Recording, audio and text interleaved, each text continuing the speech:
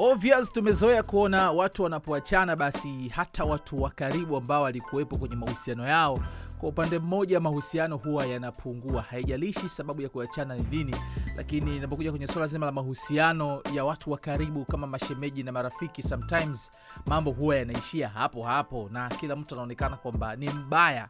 Eh, alishaimba hivyo uh, Aridi Chokora kwamba kuachwa kuachwa kuachwa ni shughuli pevu, lakini hii iko tofauti sana kwa Kajala ambaye alikuwa mpenzi na mchumba wa Harmonize.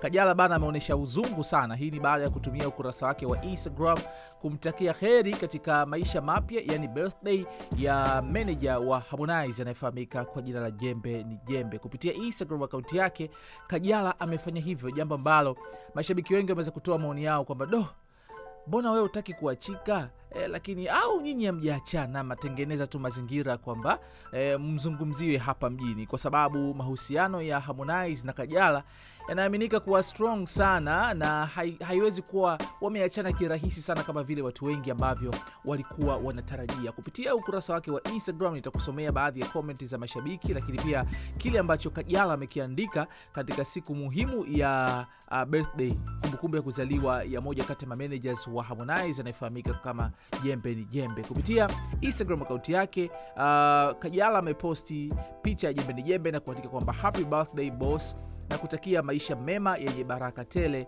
afu akika viemoji fulani hivi, kuna makopa na keki, afu akamtagi jembe ni jembe, na jembe ni jembe amepita hapa amejibu pia thank you madam, be blessed too. Eh, yani kwamba asante sana madam, ubarikiwe pia. Sasa nataka nisome baadhi ya comment za mashabiki ambao wametokea katika ujumbe huu hapa ambao Kajala ameuposti kupitia ukurasa wake wa mtandao wa kijamii wa Instagram. Uh, huyu anaitwa Ndinga Beipo amepita comment he si ex shemeji yako huyo na tushakuacha, afa kika emoji za kucheka. Mngeitwa mail Master amepita comment mm, akikujibu hapa niite mbwa. Sasa shamjibu mtu jamani, ila watu. Mngeitwa Aisha Piskali amepita comment, Jembe anakuhusu nini? Si umeachana na msanii wake au unataka umuingilie kwa staili nyingine unayoitwa unayo mdango? mm-hmm. Na mashabiki wanahoji, we kama ulishaachana na Harmonize, umeachana na msanii wake, Jembe anakuhusu nini wewe? Mwingine anaitwa Wiseman amepita amecomment, jiweke hapo uendelee kutamba miaka miwili mitatu mbele. Oho. Mwingine anaitwa amepita amecomment, mbona ghafla sana napatwa na mhaho. Umeelewa bana. Mwingine anaitwa Sandra amepita amecomment, Kajala, ndoa kipenzi e, inahitaji uvumilivu. Mwanaume kuchepuka sio sawa, bali ndio walivyo ah. Ndoa yako tarajia kukimbia ndoa yako tarajiwa sio, sio jibu bali utompata mwanaume mkamilifu. Msamehe Harmonize, usikilize walimwengu pia wanao bado mdomo kujielewa. Mpende, ila kuna mambo bado umri wake kuwa ushauri, ingawa anayoyafanya ni kushauri make uh, mweke chini na mume wako mtarajiwa Harmonize, mweongee na msamehane na mrudiane. Hayo tu, upendi ushauri huu, ila weka akiba, utaukumbuka. Alafu jua Hamo ni musician, anakutana na warembo wakimtongoza na kile kisichana kijinga tu, achana nacho. mm.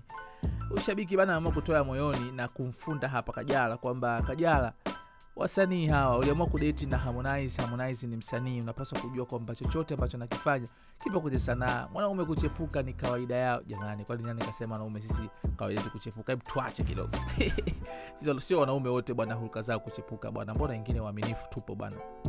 Mwingine anaitwa K Mude amepita amecomment, Renji au nyang'anywi mama, punguza shobo, afakacheka.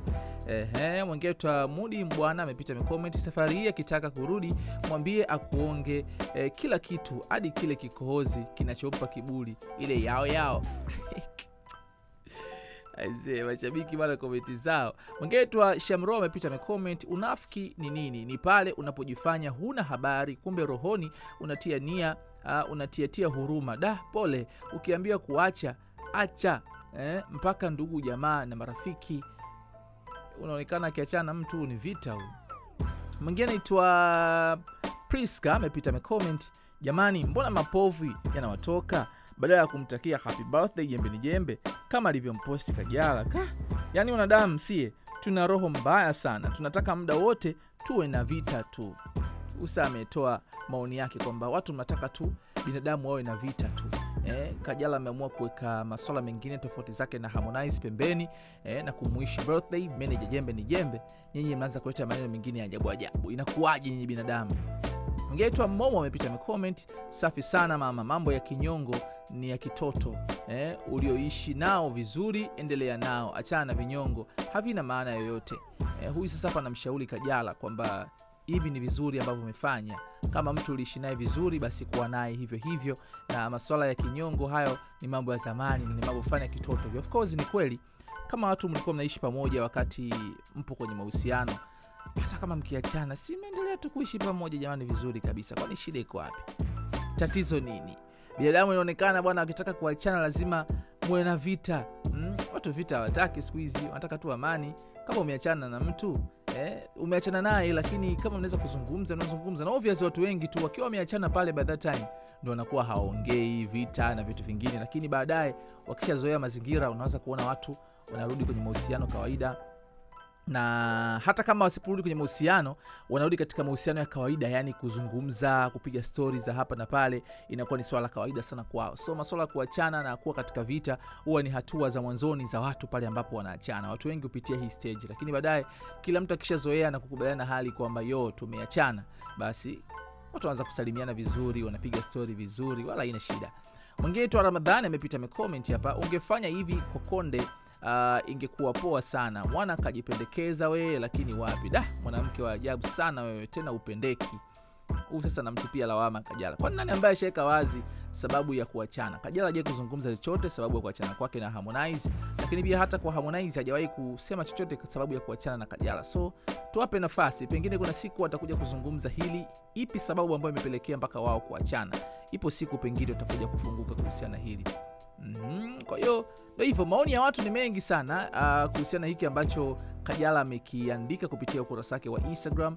Watu wengi hawakutegemea kuhusiana hili, watu wengi walitegemea kuona kwamba uh, Kajala atakuwa na chuki na watu wote ambayo walikuwa Konde Gang, lakini kwa kile ambacho amekifanya Kajala ni wazi kwamba mahusiano yake na baadhi ya members wa Konde Gang, marafiki, ndugu na wengine kibao na wafanyakazi wa ujumla wa Konde Gang yako vizuri. Tunategemea kuona mahusiano mazuri na kina Chopa na kina nani na wengine kibao, lakini kwa Harmonize sijui. moja tuone birthday ya Harmonize ikifika, pengine Kajala atatumia ukurasa wake wa Instagram kumwishi pia Harmonize happy birthday. Chochote kinaweza kutokea, kama ambavyo nimekuambia kwamba watu wanapoachana uh, kipindi cha mwanzoni kabisa huwa wanaonekana kama wapo kwenye vita, lakini baadaye mambo yanakuwa poa, wana solve na kila mtu anakubali ku move on.